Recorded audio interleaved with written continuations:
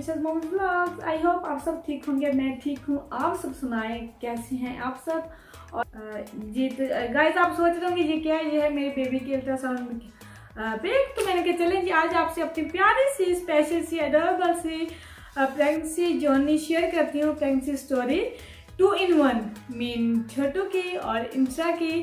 तो, तो first of all आप स्किप नहीं कीजिएगा स्टार से एंड तक ज़रूर देखिएगा ताकि आपको पता चले आज की वीडियो बहुत ही इंटरेस्टिंग है। क्या क्रिटिकल पेश आई मेरे साथ? क्या फेस करना पड़ा मुझे? हार्ड था, या इजी था। तो जो मदर बनने वाली हैं, ये जो मदर्स हैं, वो बहुत बेटर तरीके से जानती हैं कि मदर जो रिश्ता है रिलेशन है, वो कितना ही अनमोल है और कितना ही खूबसूरत है। जी तो फ़र्स्ट ऑफ़ ऑल तो इनसे से स्टार्ट करते हैं। फ़र्स्ट ऑफ़ ऑल तो मैं गई थी दुबई, उसके बाद जब मैं गई थी पाकिस्तान पाकिस्तान में मैं कुछ खाती पीती नहीं थी तो मामा ने नोट किया कि कोई ना कोई गड़बड़ है। तो वो कहते थे कि चेकअप करवा लो तुम सही से खा नहीं रही हो ये वो? क्योंकि यू नो पाकिस्तान वाले कितनी खिदमत करते हैं और वो भी स्पेशल लाहौरी। तो वहाँ पे लाहौर का फ़ूड था तो खाती थी, लेकिन नहीं खा पाती थी। तो फिर हमने कहा, चलें जी, यहाँ से चेकअप नहीं करवाते हैं, कुछ सिचुएशन ऐसी है तो वहाँ जाके ही करवाएँगे। तो इसलिए फिर हमने यहाँ पे आके चेक करवाया। तो जी डॉक्टर ने बताया कि गुड न्यूज़ है तो बस गुड न्यूज़ थी।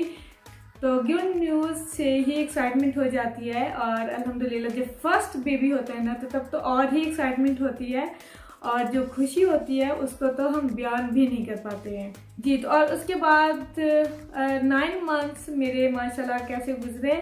वो मुझे वैसे पता चला था क्योंकि अकेली होती थी हस्बैंड काम भी होते थे और फ़र्स्ट बेबी था, क्या करना है, क्या नहीं करना है, क्या करना पड़ता है, क्या खाते हैं, क्या पीते, कुछ भी पता नहीं था और ज़्यादा काम भी नहीं होते थे घर के तो बस खाना पीना, आराम करना, यही चल रहा था।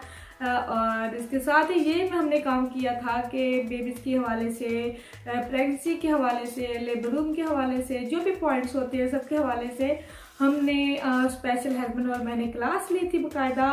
वो क्लास हमने ली थी जिसमें वो बताते हैं कि किस तरह से लेबर में जाते हैं किस किस तरीके से लेबर होता है किस किस स्टेज से हमें गुजरना पड़ता है, या फिर उसके बाद बेबी है तो बेबी की नैपी कैसे चेंज करनी है, उसको किस तरह से सुनाना है, क्या करना है, कैसे नहीं करना है तो वो सब डिटेल्स उन्होंने हमें उस क्लास में हमें बताया था।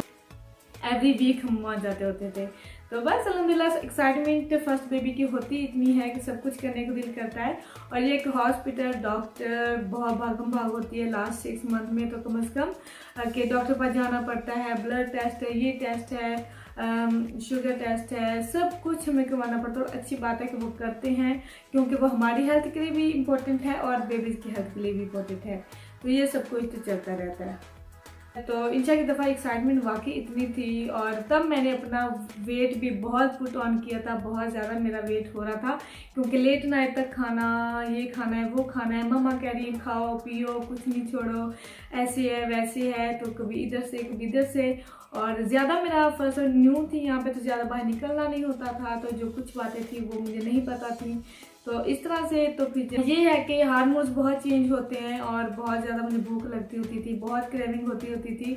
तो फ़र्स्ट में तो फिर ऐसा सब कुछ चलता है और उसके बाद जब हम हॉस्पिटल गए तो नॉर्मल हो गई थी इंशा एंड अलहमदिल्ला बहुत अच्छे से हो गई थी और डॉक्टर वगैरह से काफ़ी कॉपरेट करते हैं, बताते हैं एंड सब इन्फॉर्मेशन वगैरह होती है। लेकिन ये है कि उस टाइम हम, उस टाइम पे जब हस्बैंड ने इंस्टा को होल्ड किया, पकड़ा, क्योंकि तब वो थे मेरे पास। तो बहुत खुश हुए थे और बहुत हैप्पी हुए थे क्योंकि गर्ल हुई थी इंशा तो उसके लिए बहुत ज़्यादा एक्साइटेड थे और यह है कि रहमत थी, अल्लाह ताला की थी रहमत और रहमत जहाँ पे बरसती है, वहाँ पे रहमत ही रहमत हो जाती है। तो उसके बाद इस तरह से इंशा होगी, माशाल्लाह। तो उसके बाद मुझे पता भी नहीं चला कैसे मेरे टाइम गुजरा, कैसे बड़ी हो रही है। ये और उसके बाद जो स्टेज चला वो था। 2019 में मुझे फिर मैंने दोबारा कंसीव किया अलहमदिल्ला और फिर हमने, मेरे नाइन मंथ्स कैसे गुजरे मुझे पता भी नहीं चला क्योंकि इन इंशरा इंशा के साथ बिज़ी रही, सौ काम किए, घर के काम, बाहर के काम, अंदर आना जाना। और इस तरह से तो मुझे पता भी नहीं चला था। हाँ ये था कि इस टाइम में मेरा एक्सपीरियंस डिफरेंट था, पहले पे डिफरेंट था। तो इस टाइम पे मुझे पता था कि मैंने क्या करना है, कौन से काम करने हैं, किस तरह से करना है, क्या खाना है, क्या पीना है। तो उस हिसाब से मैं चल रही थी और नाइन मंथ का वक्त मुझे कोई पता नहीं चला, क्योंकि पहले वाले एक्सपीरियंसेस थे कि किस तरह से होता है, किस तरह से सब कुछ फेस करना है, जो कुछ है, बंदा यूज़ टू थोड़ा सा हो जाता है, ये पता चल जाता है। और मुझे अभी भी याद है लास्ट वाली जो डॉक्टर थी अपॉइंटमेंट्स बनती थी, वो लेकिन वो मुझसे डिस्कस करती हैं स्पेशली किया था उन्होंने डिस्कस कि ऐसी है, इस तरह से है, क्या है क्या है। हाँ इस दफ़ा ये चेंज हम लेके आए थे क्योंकि ईशा की दफ़ा तो बिल्कुल नहीं पता था कि कौन है गर्ल है, ये बॉय है। और इस दफ़ा फिर मैंने पता करवाया था थोड़ा सा डिफरेंट एक्सपीरियंस करने के लिए कि गर्ल है, ये बॉय है। तो उन्होंने बताया था कि बॉय है। तो तब से मैं बहुत हैप्पी थी, माशाल्लाह एक्साइटमेंट और भी ज़्यादा हो गई थी। तभी फिर मैंने उसका कुछ ना कुछ सोचना स्टार्ट कर दिया था। उसकी मैंने थिंग्स वगैरह बाई करनी स्टार्ट कर दी थी कि पता है। और वन मंथ पहले मैंने किया था और ये है कि साथ में मैंने उसकी क्लोजर वगैरह सेट करनी शुरू कर दी थी। थिंग्स वगैरह अपने आप को थोड़ा सा बिज़ी भी किया था। अलहमदिल्ला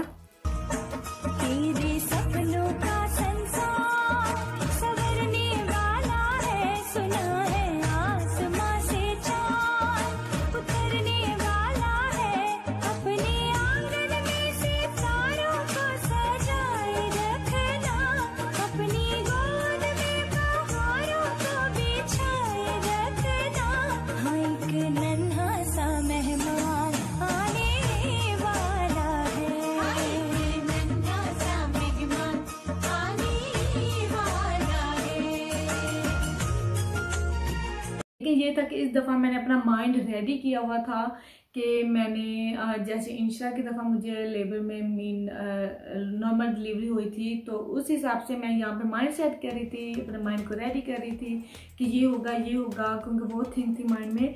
तो थोड़ा सा क्रिटिकल था तो इसीलिए फिर कहते थे कि रेस्ट भी करो और काम भी करो, क्योंकि हम ज़्यादा काम वगैरह करने लग जाते हैं। तो ये है कि लास्ट टाइम पे फिर जब लास्ट टाइम पे अचानक जी मुझे जाना पड़ा, ये है कि इंशा भी मुझे टू डेज़ के बाद हुई थी टू थ्री डेज़ अबव हो गए थे और बैदुल्ला की दफ़ा भी two three four days above हो गए थे, ऊपर हो गए थे तो मैं कह रही थी, बस ये टाइम बस किसी तरह से गुजर जाए। और उसके बाद क्या हुआ कि जब मैं गई हॉस्पिटल और ये कॉन्सेप्ट था रेडी ये वो लेकिन जब उन्होंने कहा कि ब्रीफ नहीं चल रही है बेबी की प्रॉब्लम है, उसको सांस लेने में प्रॉब्लम है, उसकी ब्रीफ नहीं चल रही है तो मैं तो काफ़ी अपसेट हो गई थी। लेकिन मेरे माइंड में वही था कि वही सब कुछ होगा प्रोसीजर जैसे इंशा की दफ़ा हुआ था, लेकिन वैसा कुछ भी नहीं हुआ। सीरियसली लिटरली वैसा कुछ भी नहीं हुआ और जैसे मैंने सोचा था, जैसा माइंड सेटअप किया हुआ था तो उन्होंने जब कहा, और उस टाइम पे फील भी हुआ, उस टाइम पे फील भी होता है कि वाकई पेरेंट्स जो होते हैं लास्ट स्टेज पे डिसीज़न कैसे लेते हैं? कैसे लेते हैं? उस टाइम मेरी वो फीलिंग्स आई थी जब हस्बैंड ने मुझे आके पूछा, या डॉक्टर ने हस्बैंड से पूछा कि जी स्नेचर कर दें, क्योंकि ऑपरेट मीन सी सेक्शन करना पड़ेगा। तो प्रॉब्लम है तो मम्मा थी वहाँ पे उन्होंने भी कहा कि देर नहीं करनी चाहिए, ये क्रिटिकल सिचुएशन है तो ऐसा कर लेना चाहिए।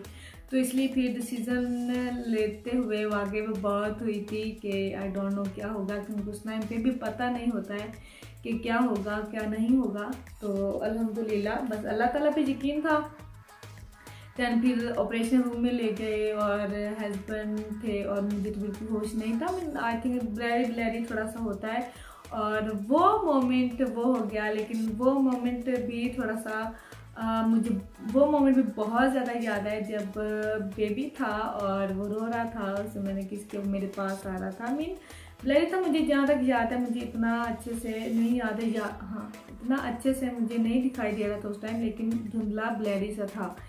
तो उस टाइम पे वो मदर जो मेजोरिटी ऑफ़ मदर्स जानती हैं कि वो जो टाइम होता है ना, बहुत ही अडोरेबल और अनमोल सा होता है। बहुत ही प्यारा वो स्पेशल टाइम होता है जब बेबी हमारे करीब होता है और जब वो वाकई वो टाइम कहते हैं कि वाकई अल्लाह ताला इज़ ग्रेट कि वो बेबी होता है, उसको कैसे पता होता है? जब वो रो रहा होता है, उसको कैसे पता होता है कि मैंने मदर को किस करनी है? जब मैंने कैसे ममा को पास जाना, ये मेरी ममा है, या जब ममा उसको किस करती है, प्यार करती है, वो चुप हो जाता है क्वाइट हो जाता है, एकदम साइलेंट हो जाता है, उसको पता होता है कि ये ममा है, मुझे प्यार करी किस कर है, और मुझे याद है और कि मैं, मुझे ब्लैरी ब्लैरी नज़र आ रहा था, और जब मुझे दूसरे रूम में शिफ्ट किया जा रहा था तो तब भी वो मेरे साथ में लेटा हुआ था, और वो टाइम जस्ट सुपर तब मैंने कहा था, अल्हम्दुलिल्लाह कि मैंने, कहते हैं ना कि कुछ हमने पा लिया है, कुछ हमने अचीव कर लिया है,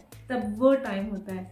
ये जो मदर्स देख रही है ना, वो ज़रूर फील कर सकती हैं और बहुत टाइम वो स्पेशल होता तब फिर मुझे आसा होश आया फिर मैंने उसको होल्ड किया, पकड़ा, मैंने प्यार किया। क्योंकि इंशा की दफ़ा इंशा की दफ़ा डिफरेंट था तो इसकी दफ़ा डिफरेंट था तो बहुत ही स्पेशल टाइम था। बहुत ही प्यारा था इमोशनल भी होता इसलिए कहते हैं ना कि इमोशनल अटैचमेंट हो जाती है बच्चों के साथ। जो मदर का रिश्ता है ना, वाकई जब मदर्स बनती है ना, मैं खुद जब बनी तब मुझे अपनी ममा का एहसास हुआ फील हुआ कि वाकई एक मदर है।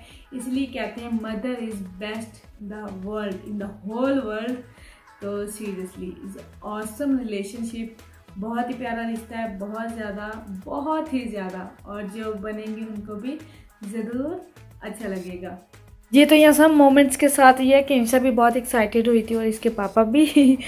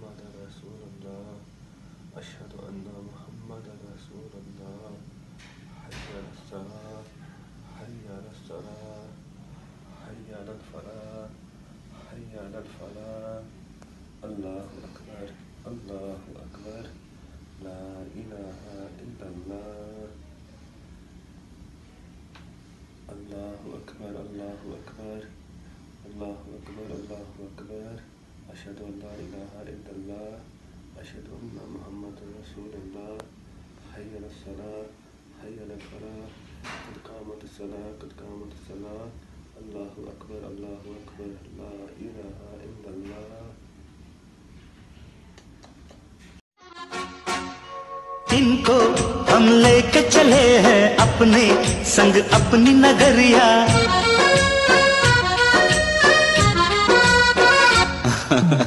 इनको हम लेके चले हैं अपने संग। और इनसे तो कुछ ज़्यादा ही थी। अच्छा इसके साथ मुझे याद आया कि मैंने मुझे लगा था एपीड्यूरल का इंजेक्शन जो बाक में लगता है। अच्छा इंशा की दफ़ा और इस दफ़ा, दोनों दफ़ा मुझे लगा था, आई कहते लगवाना तो नहीं चाहिए, इसमें बैक में पेन होता है। लेकिन अलहमदिल्ला अभी तक तो बेटर है और तब मुझे ये इंजेक्शन लगा था, क्योंकि यू नो स्टिचेस वगैरह लगते होते हैं तो इस तरह से ज़रूरी होता है, उस सिचुएशन को वैसे भी पता भी नहीं चलता। इसके साथ ही मैं अपना कुछ फ़ोटो शूट शेयर करना चाह रही हूँ, क्योंकि इनसे दफ़ा बहुत ऐसा कुछ नहीं हुआ था। तो इस दफ़ा फिर प्रॉपर वेलकम मेरा ये कुछ छोटे छोटे से पिक्चर सेलिब्रेट की थी। तो उसके सम कैप्चर्स एंड क्लिप्स और वीडियोस आपसे शेयर करने जा रही हूँ। तो फ़ोटो शूट भी वही होता आप लोगों को ज़रूर पसंद आएगा। क्योंकि बस यही मेमोरीज होती हैं जो हमारे दिल के करीब होती हैं तो वही आपसे शेयर कर रही हूँ।